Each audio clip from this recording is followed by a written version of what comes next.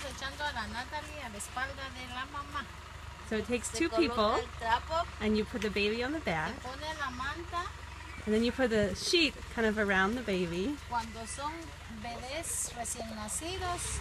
So when they're- tapa la cabecita. When they're babies that are recently born, you put the sheet over their head, and then cuando ellos están más grandecitos, entonces ya se les puede sacar la cabecita porque ellos solo se when sostienen. they're a little bit bigger, you can take the sheet down so they can kind of hold themselves up. Y aquí solo lo hacen como amarre con... Sí. Esta es una forma para poder cargar a los bebés. Ajá. Y hay otra forma que se usa cruzado a la espalda paraditos. This is Natalie. She's four months old on her mom's back.